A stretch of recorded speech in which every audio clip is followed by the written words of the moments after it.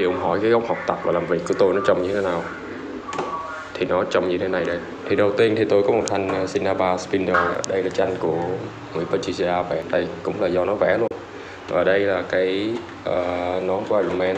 Thì cái này chắc là tôi sẽ review nó sau rồi. Ở đây cái laptop mà tôi hay dùng để mà vẽ 3D chuột này thì tôi cũng tự custom luôn. Sau này thì có uh, set kỷ niệm 20 năm. Còn bên đây là những thứ lặt vặt như là Lego này Rubik này. Đấy đồng hồ các thứ này, vấn đề Lego này ở dưới đây là đóng bài của tôi.